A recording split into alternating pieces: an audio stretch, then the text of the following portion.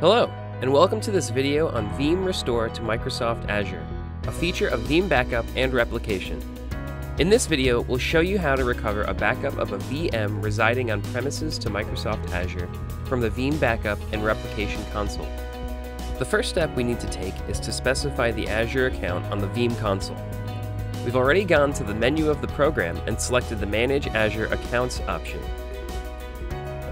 Now we're selecting Azure Resource Manager Deployment Model and Global Region, and then signing in using an email address and password.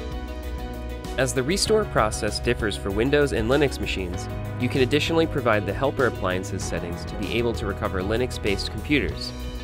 Since we'll be recovering a Windows-based instance, we can skip this step.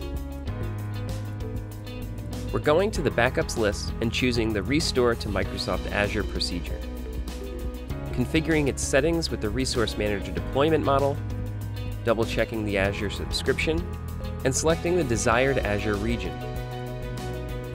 The next step is changing the VM size value as by default Veeam takes the smallest one. And after that, checking the storage account we'll want to use.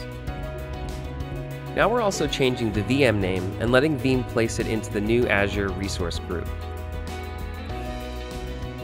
Then, we're selecting a virtual network for the restored VM, reviewing recovery parameters, and starting the actual process.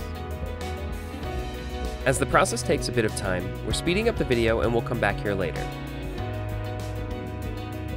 Now the process is finished successfully and we can check the VM status. For this reason, we're switching to the Azure console, finding a restored VM, and checking its settings. We're going to remotely connect to the machine just to make sure it's running fine. We're using the same administrator account and can successfully RDP to the restored VM. As you can see, it's running fine in Microsoft Azure, and the recovery has been completed successfully. Thanks for watching.